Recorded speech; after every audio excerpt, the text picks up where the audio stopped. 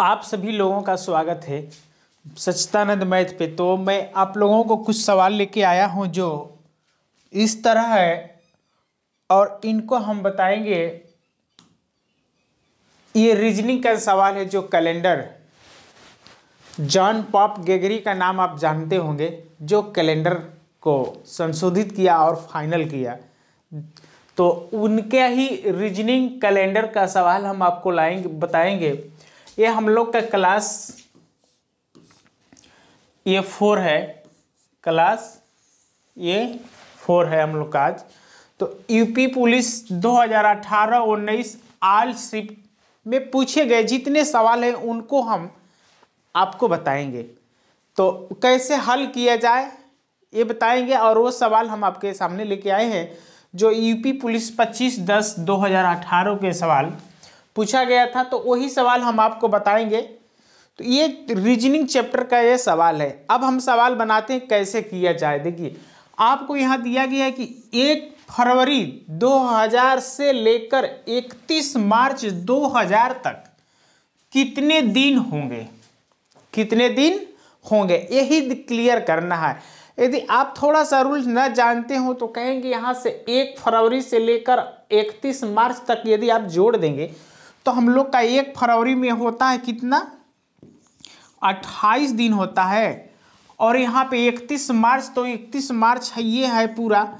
हम इनको जोड़ देंगे तो कितना होगा? आठ और एक नौ होगा। और तीन और दो पाँच और एक छः। ये उत्तर हो जाता है जिनमें आप उनसठ। इसमें ऑप्शन तो नहीं है। ऑप्शन नहीं है। तो मान के चलिए तीन दो पाँच। छः नहीं होगा, पाँच होगा। उनसठ। तो हम लोग को उनसठ दिन मिल गया तो हम लोग ऑप्शन बी पे कर देंगे, हम लोग का उत्तर सही हो जाता है। लेकिन एक छोटी पॉइंट यहाँ पे गलत कहाँ कर रहे हैं, देखेंगे। यहाँ पे एक फरवरी में जो 28 दिन होता है तो 28 दिन तो हम लोग का 2000 जो दिया है, वो क्लियर करेगा कि 28 दिन का होगा कि 29 दिन का। तो अब हम लोग 2000 के बारे में थोड़ा सा जानेंगे कि 2000 जो होता है लीप शताब्दी होता है, एक होता है लीप शताब्दी और एक होता है लीप वर्ष। तो लीप शताब्दी किसे कहते हैं? जिनके यहाँ पे पूरा ज़ीरो ज़ीरो देखें, दो अंक, तीन अंक, जो ज़ीरो ज़ीरो पूरा देखें, उन्हें लीप शताब्दी कहते हैं। और जिनमें ज़ीरो ज़ीरो ना हो, जैसे 2000 अभी चौबीस चौबीस आया है तो उनमें पूरा ज़ीरो ज़ीरो नहीं है तो लीप वर्ष है। क्या है? लीप वर्ष। तो ये लीप शताब्दी है। अब ये लीप शताब्दी बताए इससे क्लियर होता है कि इनका जो फरवरी होगा वो साधारण नहीं होगा 28 का नहीं होगा, उनतीस दिन का होगा।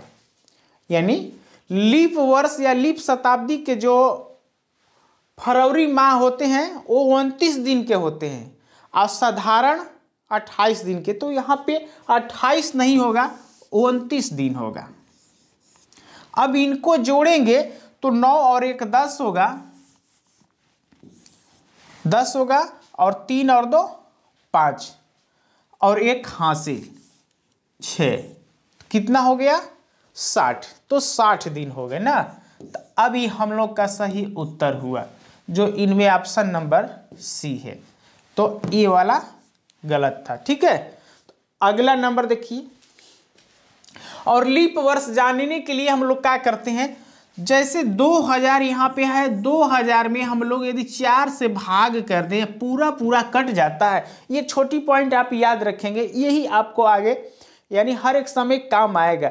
लीप वर्ष निकालने के लिए चार से जीत सन में भाग देते हैं, पूरा पूरा कट जाता है तो हम लोग को पता चल जाएगा कि पूरा भाग चला गया तो लीप वर्ष है। तो 2000 में भाग देंगे, चार से तो पूरा कट रहा है। तो ये लीप शताब्दी है। शताब्दी का मतलब कि इनमें पूरा ज़ीरो है, दोनों अंक। तो शताब्दी मानेंगे। अगला नंबर। अगला नंबर, यदि एक अगस्त को बुधवार है तो एक सितंबर को कौन सा दिन होगा? अगला क्वेश्चन देखिए, यहाँ पे एक अगस्त दिया है तो एक अगस्त को बुधवार है, लिख लेंगे कि एक अगस्त को कौन सा दिन है? बुधवार है। एक अगस्त को बुधवार है तो यहाँ पे दिया है, एक सितंबर को कौन सा दिन होगा? तो हम लिखेंगे, एक सितंबर एक सितंबर को कौन सा दिन होगा, यही पूछा जा रहा है ना? एक सितंबर को कौन सा दिन होगा, यही बताना है आप तो पता चल गया, एक अगस्त को बुधवार था तो आप कहेंगे, अगस्त कितने दिन के होते हैं? तो कहेंगे, तीस दिन के होते हैं। कितने? तीस दिन के अगस्त होते हैं। उसके बाद सितंबर में एक दिन, देखेंगे, सितंबर में पहला ही दिन है ना? तो पहला दिन का मतलब एक दिन हुआ। तो एक है, एक दिन जोड़ लेंगे तो कितना टोटल होगा?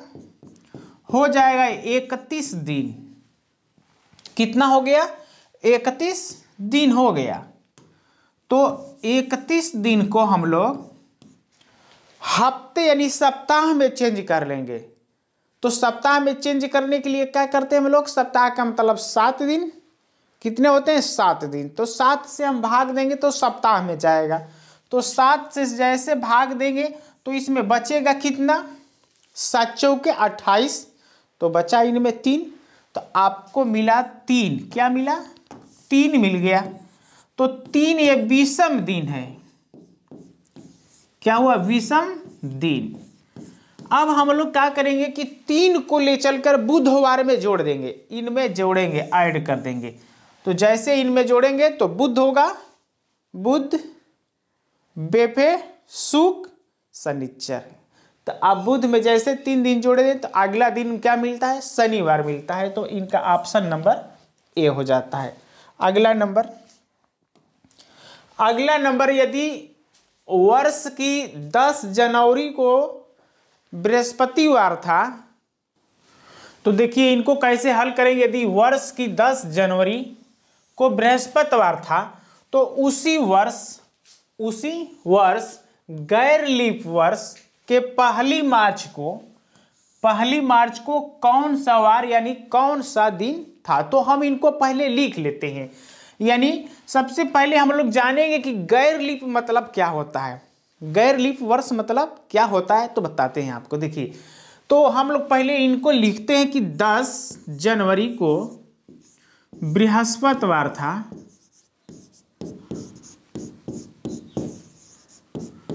दस जनवरी को बृहस्पतिवार था, ठीक है? और एक मार्च को, एक मार्च को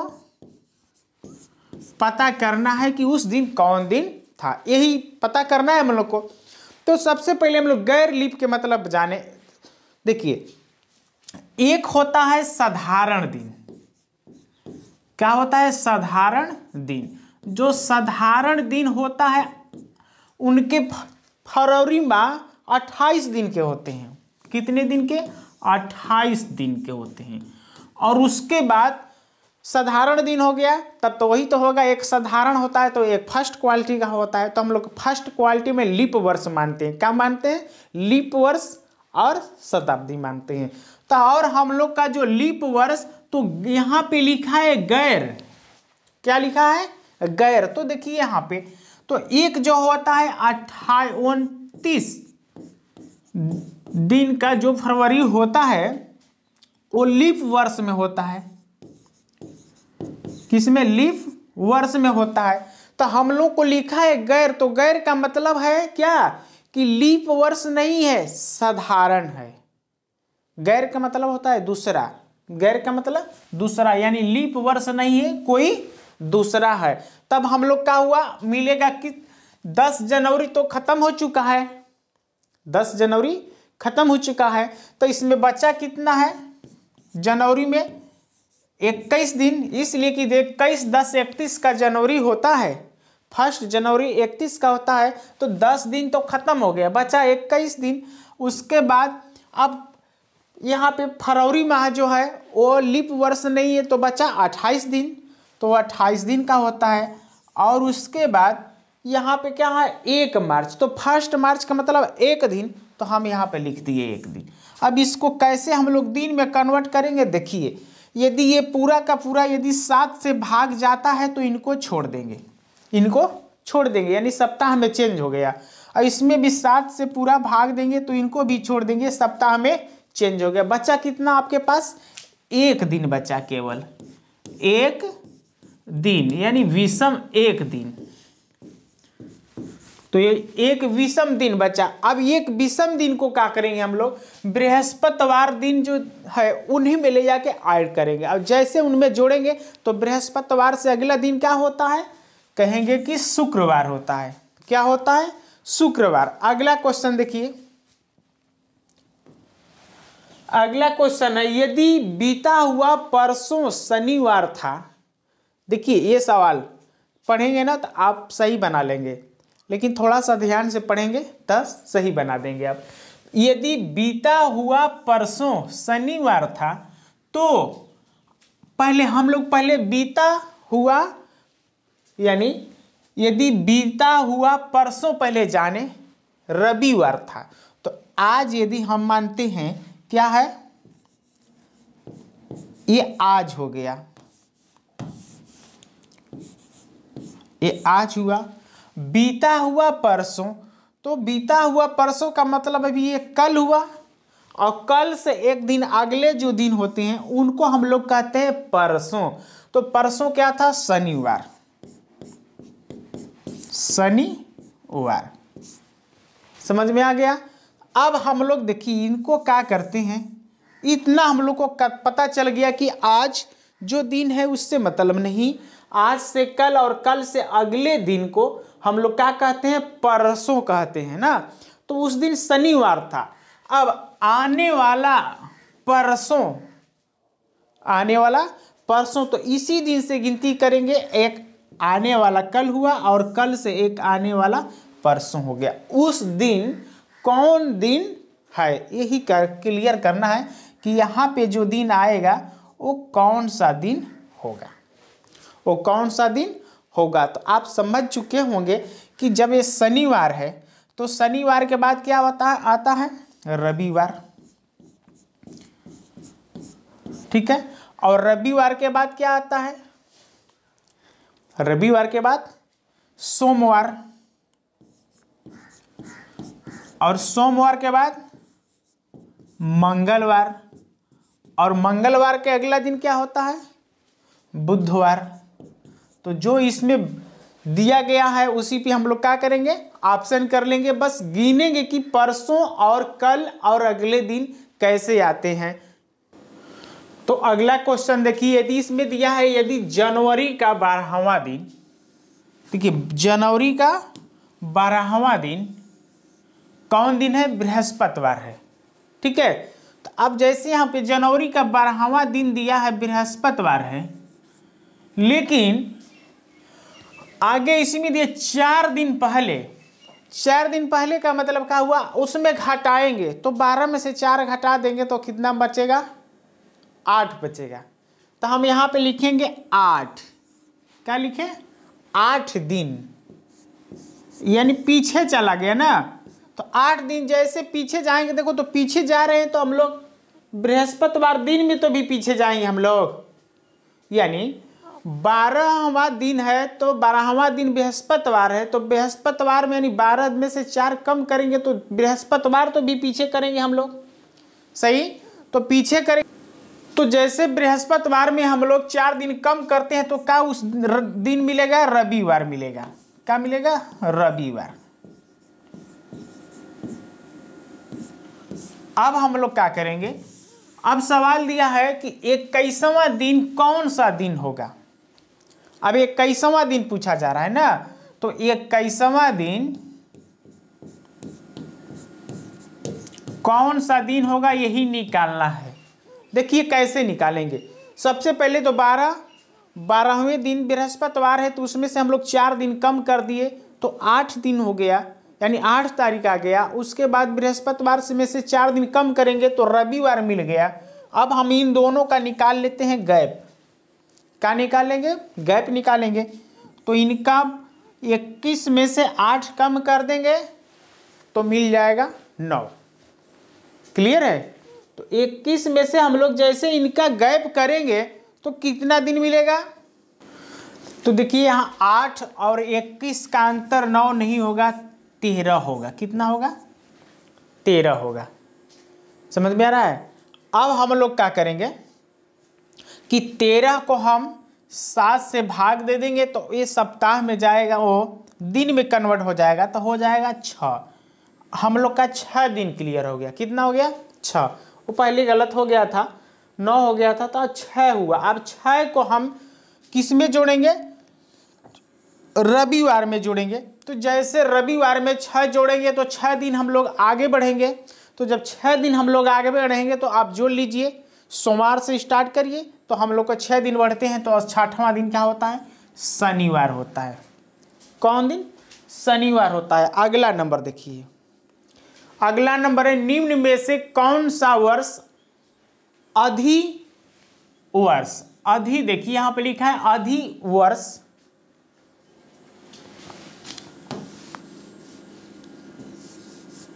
अधिवर्ष यानी अधिवर्ष को हम लोग कहते हैं लीप वर्ष। क्या कहते हैं? लीप वर्ष। तो इसमें बताना है कि वो कौन सा वर्ष है जो लीप वर्ष है। और लीप वर्ष आप कैसे निकालते हैं? जैसे आपको कहा जाए 2024 तो 2024 कहती आप तो पूरा पूरा भी भाग दे सकते हैं। किससे भाग देंगे? चार से। यदि पूरा पूरा भाग चला जाता है तो उसको कहते हैं हम लोग लीप वर्ष। क्या कहेंगे? लीप वर्ष कहेंगे। क्लियर है? तो लीप वर्ष पता करने के लिए हम लोग इस तरह रटते नहीं है। हम लोग निकालते हैं कि चार से भाग देंगे, आप पूरा पूरा भाग जाएगा तो कहेंगे लीप वर्ष है, और न जाए तो कहेंगे साधारण। दो ही तो बात होते हैं। एक साधारण का होता है और एक लीप होता है। तो लीप में कितने होते हैं? अट्ठाईस दिन का फरवरी होता है और इनमें उनतीस दिन का होता है फरवरी। तो यही पता करना है कि लीप वर्ष कैसे पता करते हैं? चार से भाग देते हैं। तो आप प्रत्येक में चार से भाग देकर चेक करेंगे कि कौन पूरा पूरा कट रहा है। और जो पूरा पूरा कट जाएगा, उसी को हम लोग क्या बताएँगे? कि आधी वर्ष, यानी लीप वर्ष है। और जो न कटे, उसको क्या कहेंगे? साधारण वर्ष। तो ये आप कमेंट बॉक्स में इनका उत्तर आप दे देंगे। बहुत आसान है। चार से तो भाग दे लेंगे। और समझ में आए तो एक लाइक कीजिए और कमेंट में भेजिए किस तरह लगाए आपको और इसका उत्तर कितना हुआ। चार से भाग दे के निकाल लेंगे। तो आपसे कोई भी सवाल पूछा जाए तो इसे चार से भाग देकर क्लियर कर सकते हैं। वो साधारण वर्ष है कि लिप वर्ष है। अगला नंबर देखिए।